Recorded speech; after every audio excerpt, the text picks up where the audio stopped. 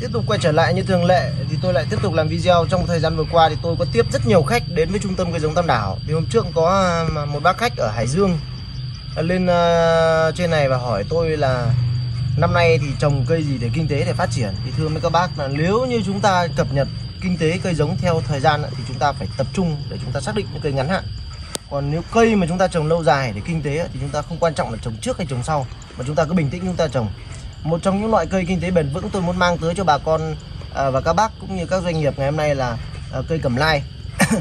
À, và tôi là biên giám đốc điều hành trực tiếp đơn vị trung tâm giống cây trồng tam đảo. Và ngày hôm nay thì ngày hôm nay thì tôi muốn mang lại cho các bác về cái góc nhìn một trong những loại giống cây lâm nghiệp vũ quý. Nó giống là dòng cẩm lai ngọn đỏ. Có thể nói là đây là một trong những loại cẩm lai chính cống.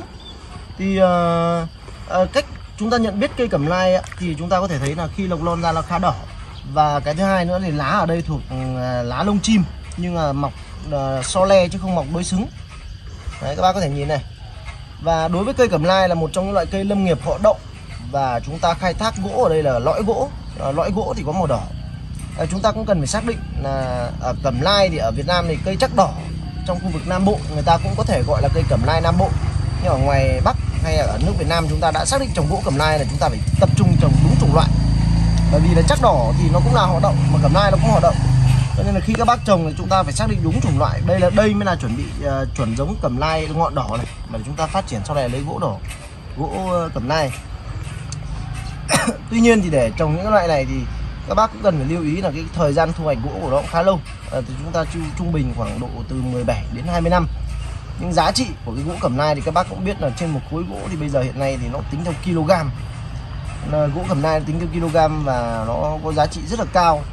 Theo thống kê của chúng tôi thì cho đến nay thì những cái hạn mức những loại cây kinh tế ở Việt Nam thì có thể nói cẩm nai là một trong loại cây thuộc kinh tế mũi nhọn mà tập trung phát triển có thể ở miền Bắc và có thể trồng được ở Tây Nguyên.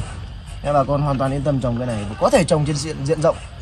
À, đối với cẩm lai họ đậu thì chúng ta trồng mỗi một hecta thì trao dao động khoảng độ từ một từ 800 đến 1160 cây tức là tùy theo khoảng cách dao động từ 3 m đến 3,5 nhân 3,5 m à, trong quá trình trồng cây cẩm lai thì các bác cũng cần lưu ý rất quan trọng là cái giống cái thứ hai là cái khâu làm đất chúng ta xử lý thực bì làm sao để cho nó đạt hiệu quả.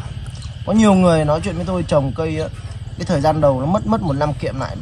Thực tế là do cái ảnh hưởng qua quá trình trồng của bà con là chúng ta làm đất không kỹ. Cái khâu đất phân nó cực kỳ quan trọng thưa bà con. Năm đầu tiên cây phát triển nhanh hay chậm là do cái khâu làm đất. Đấy và tương lai của cái cây giống cái, cái nền kinh tế lâm nghiệp là nó do con giống là cây giống. Là khi bà con chúng ta trồng cây mua cây giống và làm khi chúng ta xác định trồng rồi là chúng ta cái con giống là quan trọng nhất. Cái thứ hai nữa là cách làm đất để trồng cái phương pháp trồng. Cái đó thì bà con cũng cần phải tham khảo những cái đơn vị trung tâm giống cây trồng uy tín. Thì chúng tôi cũng là một trong những đơn vị có thể hỗ trợ được. Và không chỉ chúng tôi mà bên ngoài cũng có những trung tâm giống cây nó cũng rất là lớn nhưng mà các bác phải trực tiếp làm việc với những người có kinh nghiệm chuyên môn thì người ta sẽ hỗ trợ cho bác tốt hơn. À, Ở chúng ta mà trồng cây thì chúng ta cũng không nên vội và phát triển thì cũng nên từ từ thôi. À, chúng ta còn nắm bắt tình hình và chúng ta bởi vì có những người người ta trồng rồi thì không nói có nhiều kinh nghiệm trồng cây rồi có những người người ta chưa trồng cây bao giờ bắt đầu mới trồng thì cần thời gian tìm hiểu.